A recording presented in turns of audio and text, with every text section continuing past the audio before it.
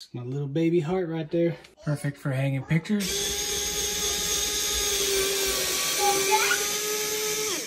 Number two.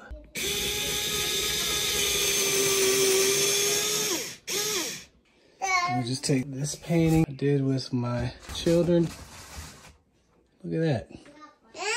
Nice and level. Perfect. Hang the art with HART.